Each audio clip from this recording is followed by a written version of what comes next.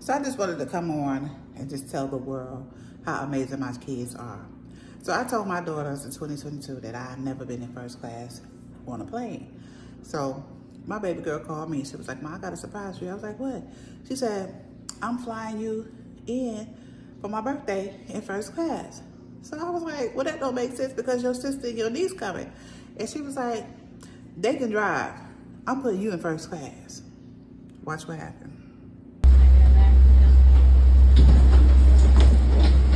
So at this point, I'm getting on the plane. You know, it's moving a little slow for first class, but hey, I'm on my way. So I'm excited. So of course I get compliments all the time on something.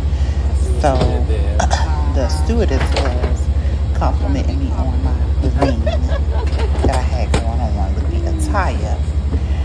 Yes, he was an amazing brother. And he really looked out for me in first class. So I really appreciate that. These are my seats right there by the window. Yes, honey. Yes, I'm getting in. And I'm so happy to sit in this seat. Like, I just feel like royalty getting in this seat because I never sat in these seats. So it's something new for me.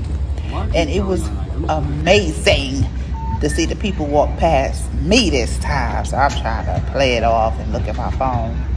But really, I'm recording everybody. And my brother sitting next to me.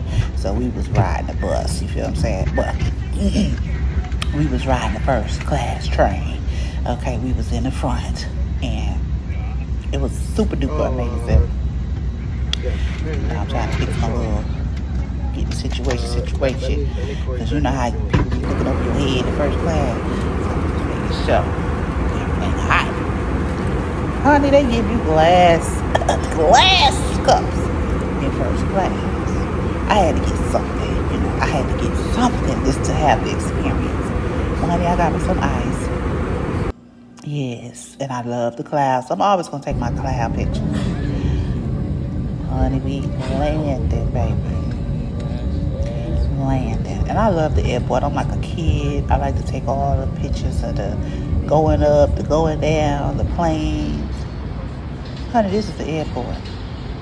And I'm waiting for who?